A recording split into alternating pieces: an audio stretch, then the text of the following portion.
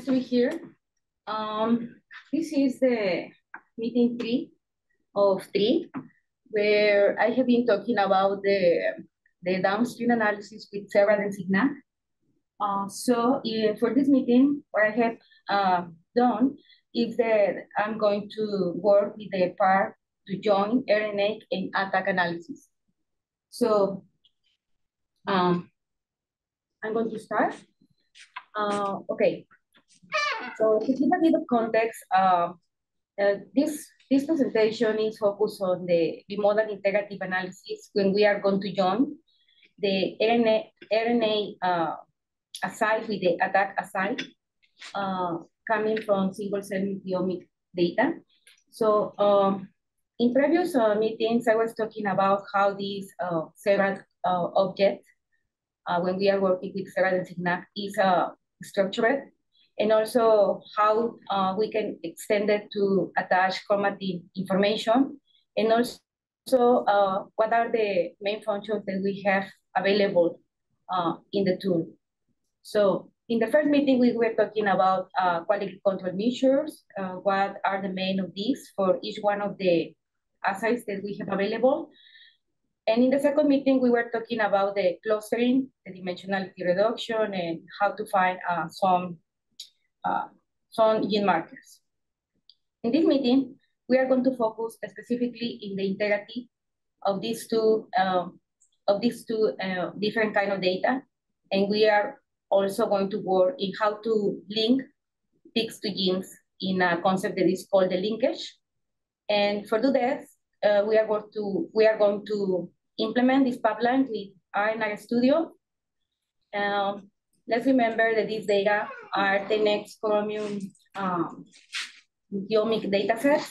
They are publicly available, and the data were processed with CellRanger ARC. And we are going to work with Seurat version 5 and Signac version 1.9. Now, uh, the dataset that, that we are we are going to, to, to work today is the same that I have been working in the past meetings. That is uh, a single cell multiomic dataset for flash frozen uh, human healthy. Uh, this is um, a dataset that is for brain tissue and it contains around 3,000 cells. Uh, this uh, dataset was uh, processed with CellRanger ARC version 2.0.0.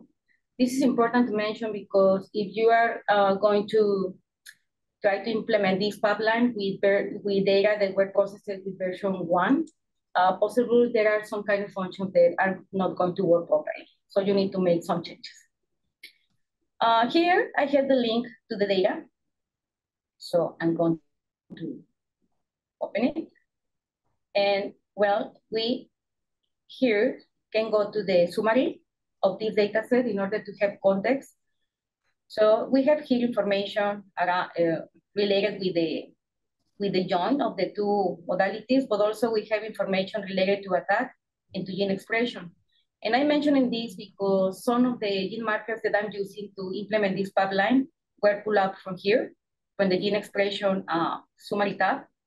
So I basically what what do is to go to the to the bottom of the page and just uh, pick up some um, gene markers here of interest in order to to implement this pipeline. Uh, this is in order to save time for this meeting. Now I'm going to go back. Um, the next point to mention here before to, to show the pipeline is why why why we want to do this. Wait, uh, so we have here uh, the chromatin accessibility information. And, well, uh, part of the importance of this is the the, the ATAC assay contains information about the regions of open chromatin when it's uh when when uh transposasa mutant TN5 is uh in these regions and these regions are amplified in order to get information about these, these open regions that's supposed to have uh, important regulatory elements that, that, uh, that are uh, highly correlated with the gene expression. So to have this part of information uh, plus the gene expression is important to, to have uh, um, more precise information about these regulatory elements.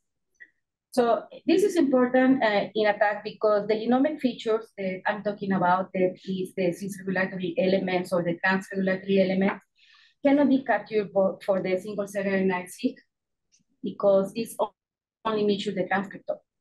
So the idea is to match these two properties in order to have the double amount of analysis in different features. One difficulty when we are analyzing the single cell ATAC-seq data is uh, the issue uh, when we have to annotate cell populations. Uh, and this is because most of the time, cell type or states, states are based on the expression of a specific gene markers. So this is this cannot be directly measured uh, for the ATAC aside. So that is why when we uh, integrate this bimodal integration, we have these two properties together. Now, um, for this uh, particular meeting, uh, we are going to combine the RNA and ATAC information in order to allow us to, to look uh, deeper in the transcriptional regulator of the region of the gene. So we are going to plot a coverage plot that includes the gene expression in these sites, but it also contains information about the region of the gene and also the peaks that are uh, highly, uh, that have high S scores. and also we can see uh, putative links that are related uh, because they share uh, the same score of the same score in the ATAC site. Uh, this is uh, there is a very wide explanation about Hao uh, this is processed step by step, and you can um, like consult the details in this paper. That is the Seurat methodology paper uh, of how 2021. Now, uh, we are going to do this, but I need to mention that there, there are several strategies to do this, not just one. So I just uh, want to highlight that because you can find tutorials when they are doing this in one way or another. So I'm going to briefly explain what is happening there.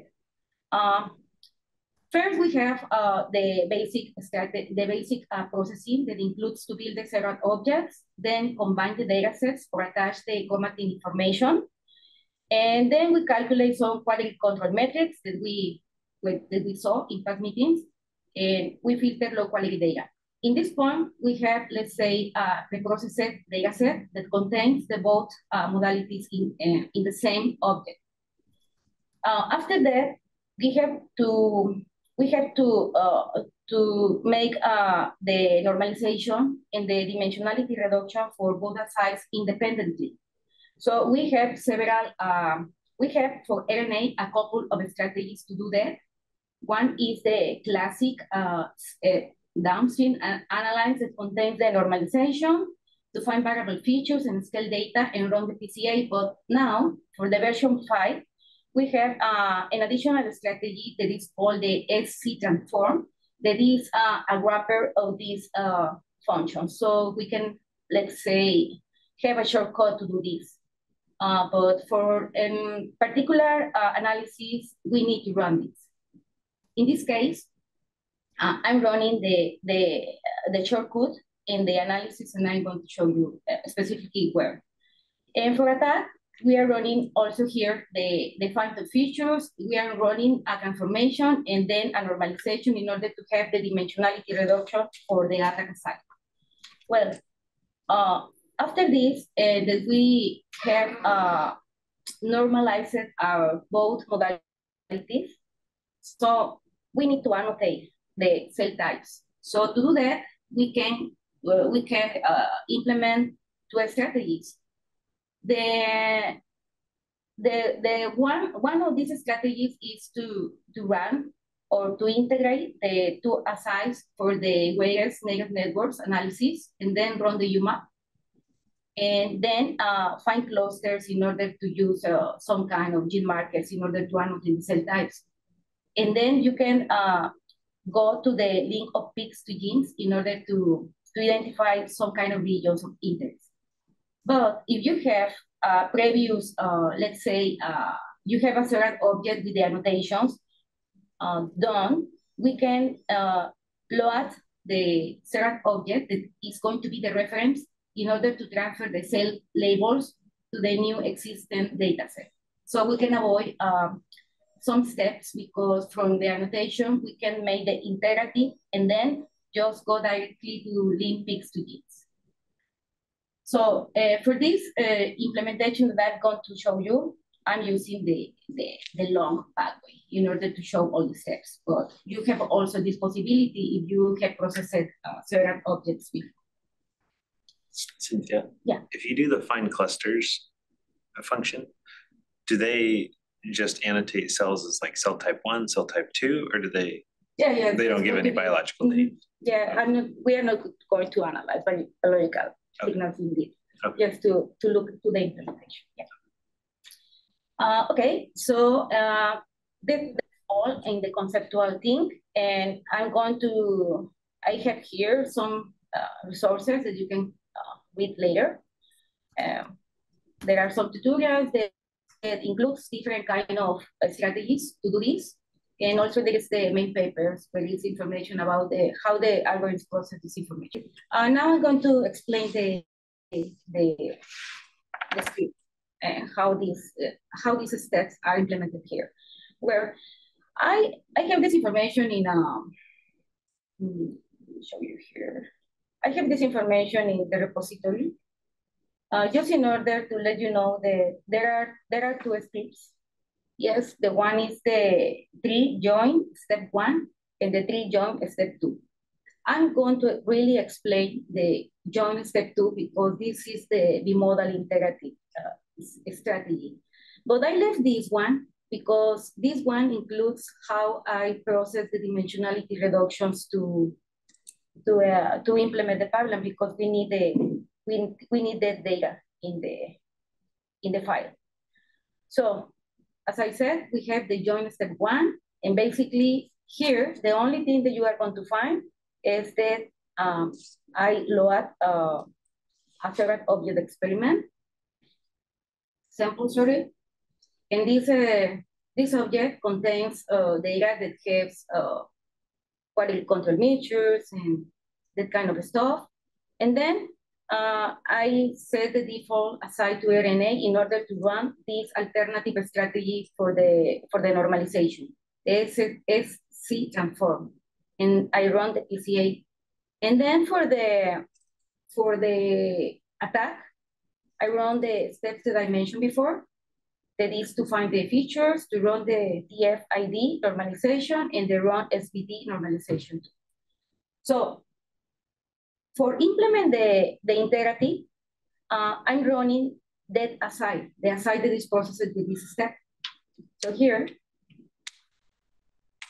sorry, I'm going to, to load uh, an object that contains uh, the PCA, the LSI, and the UMAP dimensionality reductions. So let's look the object. So if we look the object, we can see that this object uh, contains the, the SCCT uh, assay, but also contains the ATAC assay. And we have also, as active, the, the transformation of the RNA data, and we have uh, three different kind of data present here. The counts, the data, and the scale data, there are, there are the normalized data. But now, to make the iterative, we are going to work with the reductions. So if we want to explore the reductions, you can label, you can run this label, select reductions, and we can have the properties of each one of these reductions. So we have PCA, we have PCA for RNA, we have LSI for ATAC, and we have the dimensionality reductions for each one of these uh, of these layers. Okay, so now the, the, the active aside, as we see here, the active aside in this moment is the SRT, so I don't need to run this because it's active. But you need to be careful because when you save the objects, the last one that you process before is the, is the one that's going to be active. So just double check that we have present this aside, and this is the default aside to process.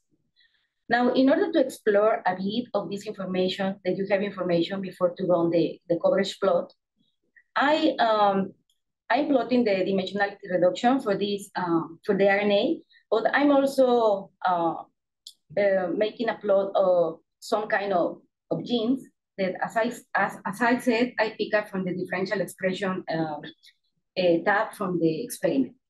So let's see a bit of the of, of this data.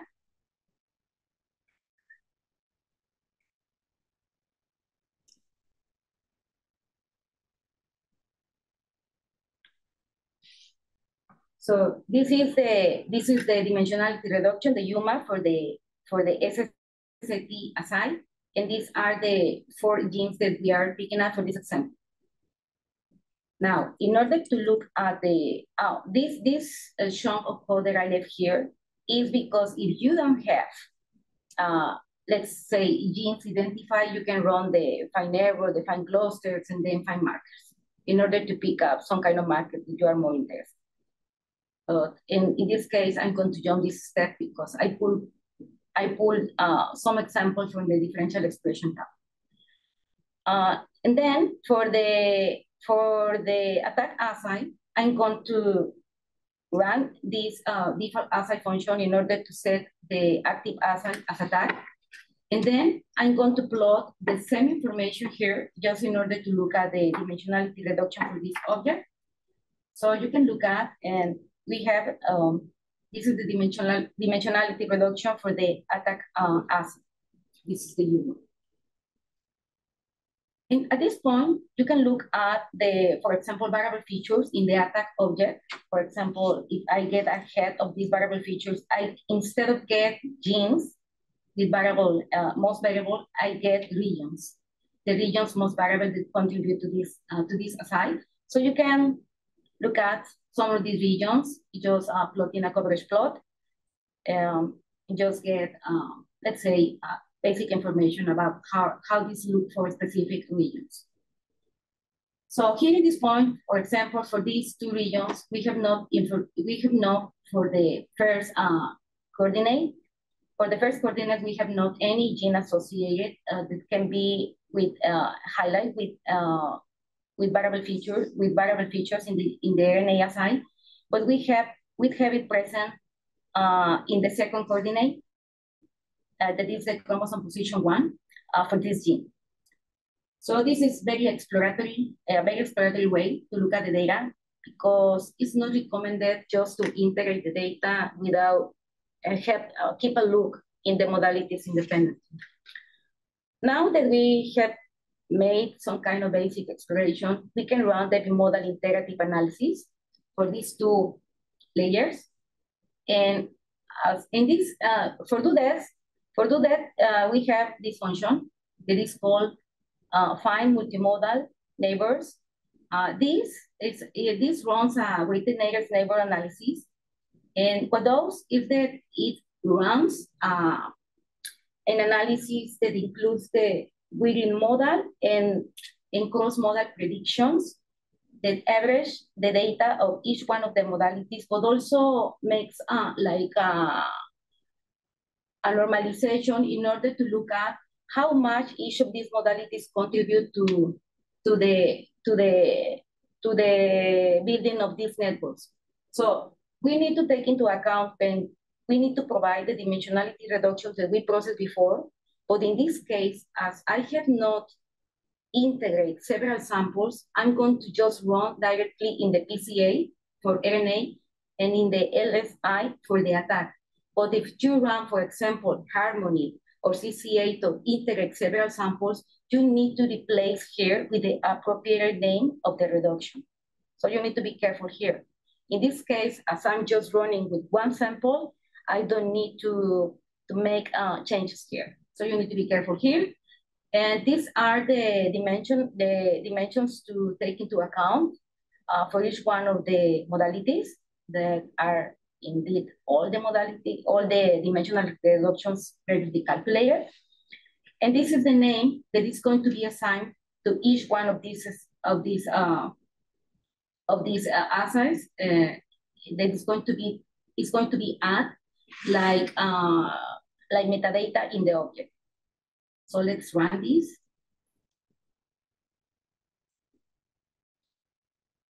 Okay, now that we have run this, The output uh, showed you that have been found 20 native neighbors communities for each one of the modalities.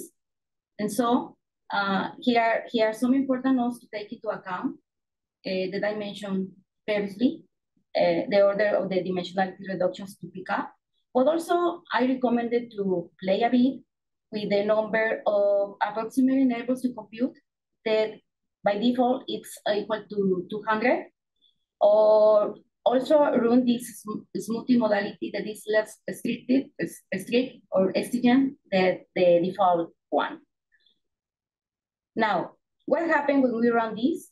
Well, it generates a native neighbor called uh, weighted n, and it's stored in the neighbors slot. So now in the object, in the Seurat object, we have an additional slot. Let's look at this.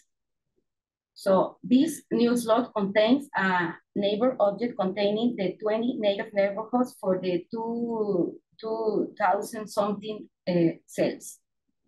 But also, it generates two neighbors graphs that are called the WKNN and the WSNN, which are stored in a new slot that is called the graphs. So these graphs is the ones that are going to be used to to, to find the clusters in this new integrated modality. So now that we know these new slots assigned with the integrative, we can then uh, run the UMAP in order to, to look at the information. And we are going to provide as input the NN um, neighbors object. So let's run this. And the graph, the WSNN is going to be used in order to look for clustering. So here, with this uh, function, find clusters, I'm going to assign the number of the graph name uh, where, I where I want to look for new communities that includes the two modalities, the cross of the two modalities, and I'm asking uh, to find communities with a resolution of 0.2 that uh, in the scale uh, that handles that means that I'm looking for big communities. So I'm going to run this. And then uh, you want, after that you run this function, it's going to be add a new metadata in the object that is called uh, clusters. So if you look at the unique uh, clusters that we have present in the ASI, we have um, we have uh, a a clusters starting from zero to seven. And so you can look at the call names and you can verify that information is there. So you have here the several clusters that contains information related with with the clusters identified with the cost of the two modalities. So you need to take also into account that every time that you run or do change the resolution of this modality, let's say to 0.8, that is the default, the Seurat cluster information is going to be overwriting. So that is why uh, the in the metadata is added um, a, met, uh, a new column every time that you run a different resolution of the cluster. So just keep in mind that in order to, to know what, what is the information that is uh, by default saving the Seurat clusters. Uh, now, uh, now we need to change for, we need to, to, to set as default ASI the, the RNA, the transformation of the SCT RNA, uh, in order to, to look the information how it looks now after the integration. Let's this with the clusters.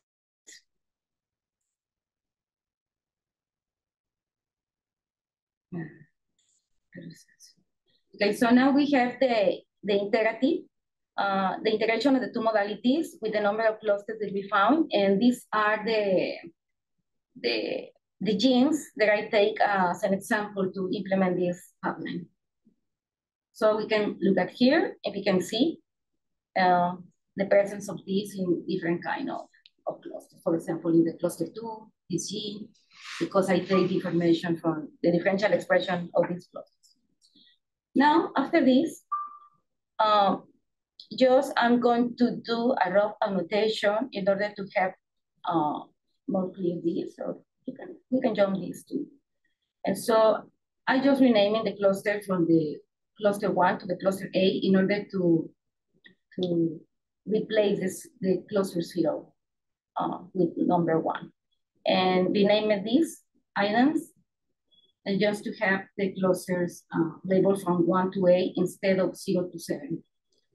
And after this, uh, we can run the, we can we can plot we can plot the information that we have now with the same genes that we are using now. Um, just to look at this uh, at this integrity with the with the name uh, with the name uh, close to the we have here labeled in order to make it clear. Okay. Okay. Now that we have uh, the integrative done uh, in the in the dimensionality reduction for RNA and ATAC, we can link the peaks to the genes. So we need to change and set the default assay as ATAC. Uh, be careful because if you have active another kind of assay, you are going to receive errors. Uh, this is not automatically pulled up. So there is a particular function that is called region stats that computes the GC content, region length, and nucleotide-based frequencies regions in this size and, the, and add this information as metadata in the object. So we are going to provide the, the object, the surrogate name, and we are also, or we need also to provide um, the annotation that we are going to use. So we are going to use um, the, the Homo sapiens HG38.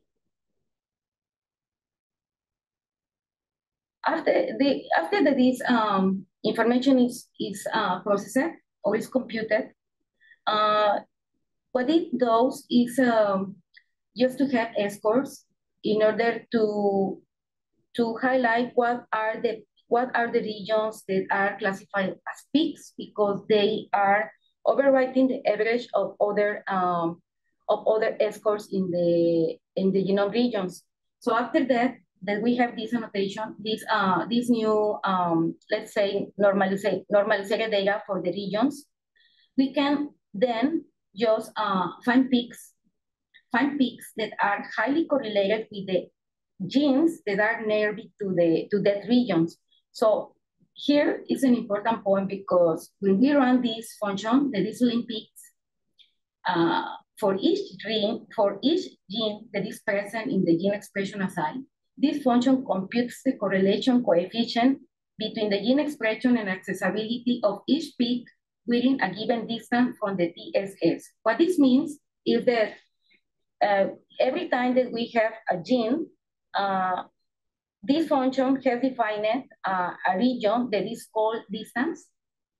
And the distance is going to run uh, upstream and downstream, and it's going to track um, uh, genes that are between this, uh, let's say this window, this open window. So you can change this variable if you are looking, for example, for cis-regulatory elements that are uh, outside of the of the peak of the region, or you can just uh, short the distance if you are looking for the most nervy properties or features in, in that uh, regions. Also, uh, this uh, uh, one that, that we set up the distance of the gene for the transcription start size is computes an expected correlation coefficient for each one of the peaks, and the expected coefficient values for each peaks are used to compute C scores and P values. So we basically get a data frame with information on the peak, the, the, the features of the property found, and these values are C scores and are normalized in C scores, and we have a p-value for each one of these. So like this is high time consuming, I'm going to use specific genes to run this. So the function is link peaks, the object we are, we are going to process, the pick assay uh, object that we are going to use, that is ATAC by default. The expression assay in this case is SCT, but it could be RNA. So I'm using the normalization of the RNA. Uh, the genes to be used are the ones that we have used before. The distance is a is predefined, it's a predefined value, and we are using a minimum number of 10 cells with positive values for each peak uh, to include in the result. And the method to be used for process these, um, these scores is the Pearson, but it's also available the Spearman. So I'm going to run this. Would you, so SCT is just the normalized RNA seq Would yeah. you ever want to? You can use counts. Why would you want to use the counts instead of the normalized counts? Yeah, you can use it too. So it's just like the alternative way that Seurat provides. But yeah, a, a, lot of people use the, the normalized counts instead of the SCT. Yeah. Okay, uh, now that we have tested, uh, that we have run this uh, function, uh, the testing say that it only found uh, gene, gene coordinates for three of these genes that I have provided. So how now, how can we look at this? Okay, uh, in order to, to process the coverage plots, there is the visualization of the gene expression with the uh, regions, the genomic regions, where are the peaks. Uh, we can uh, run this function, the coverage plot. But uh, this is also time consuming, so I'm predefining uh, a particular region that I want to plot.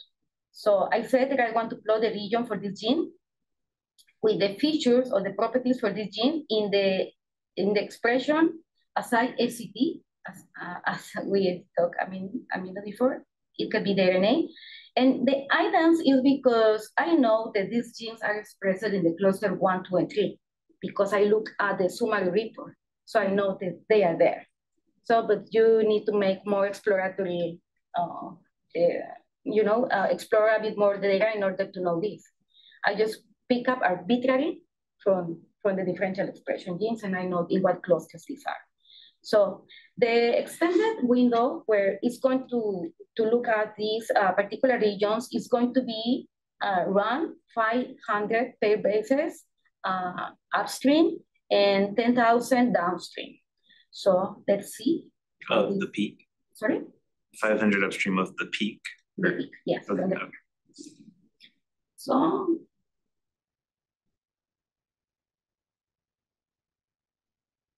Yeah, it's because I don't run the islands. Sorry. okay.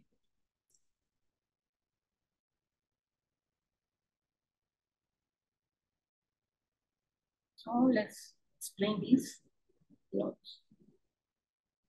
1.2. Going time. It's better. Okay. So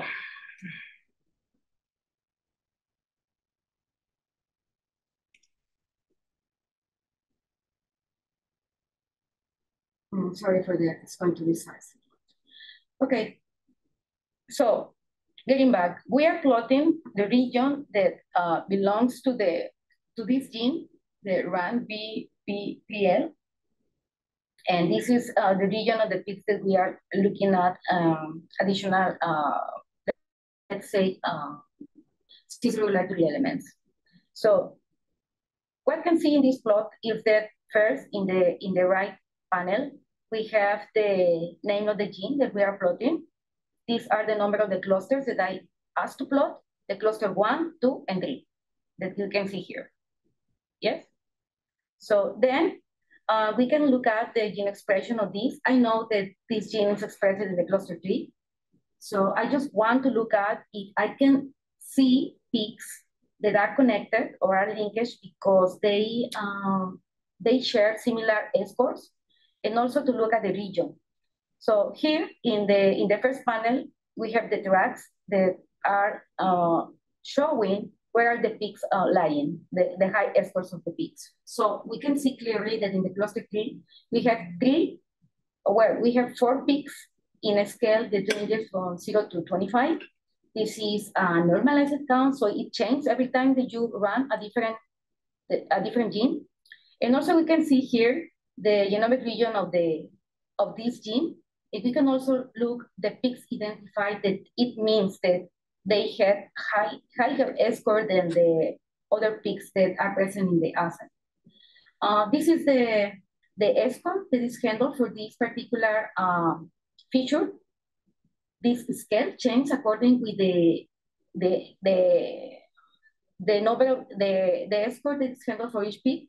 But we can also uh, look at uh, what of these peaks share similar properties. For example, you can see that this is highly connected with this one up here. And the, the color of the lines is, um, it's a, um, let's say, to easily identify which of these gene, which of these peaks have uh, more similar properties. For example, uh, you can see that this line is just to say, okay, this is the most uh, the most high property uh, in the escort that we are handled. We have here, this is more dark, so they share a more uh, similar escort, and this is a light violet, that it has uh, uh, a less, uh, let's say, uh, as pretty low property compared with the first one. Now, when we are talking about these properties, the extended upstream and the extended downstream, it is reflected here. For example, let's to plot the same gene with the same region, but now we are going to run the upstream uh, 10,000 uh, uh, bases, and we are going to keep the downstream the same. So just that you can look at the difference between these two. Okay, so when we um, process these new new new uh, features that we are looking for a more a more uh, say wide region to inspect the peaks, we can look at that these are the peaks that we looked before. Remember that we see this peak, this peak, and this peak with the same property that I explained before. But now we now have an additional peak that is pointed to a regulatory element that is called the NAD. Um, something K2. So this is a very high peak that it scales in a range of, of 0 to 80. So we can look at that um, there is a new property that is close to this gene. Even when we don't have uh, a link between these ones, we can look at more exploratory elements here. So if you want to see these properties together in order to compare it, Okay, since this uh, since this image render, I'm going to show you the, the last example. So now we are we are going to go back to compare these these images, but uh, the last sample that I have here is just to show you another uh, example with another G in order to compare how are highlight the peaks and the links in the in the sample that has been integrated. And but mm, but uh, more than this, that to look at these peaks and identify these linked regions, uh, we can want, we can wonder what is the next step once that we have identified uh, genes with peaks and with links that, that share the same score, where the motivation to do this is to look at uh, transcription factors that are binding motif enrichment analysis and to build some kind of uh, regulatory networks. But for do that, we need first to identify these elements and to, and this is not part of this meeting, but uh, with this previous analysis that we are doing, uh, we can identify these factors that we can use to build this regulatory network. So maybe in, in our next meeting, we can talk a bit about this, but just to, to to add something else, uh, to run the transcription factor analysis over this, anal over this uh, new object that we have, we need uh, to use a database of transcription factor binding motifs. There are commercial ones like Transfac or JASPAR, or also the Deseret object has uh, his own transcription factor um, database. So just to finish with this, I'm comparing these two different genes. Uh, this, sorry, this is the same gene, but with different uh, with a different window, uh, opening window, so we can see that when in a short window, we just can uh, focus our analysis in the peaks inside of the region of this gene. But if I run the window and I open it more, I can identify uh, some uh, other properties that are close to this gene. So you can use it for anything that you are looking at. And that's all I have. If you have some questions or you can you can ask me here or in Slack or whatever.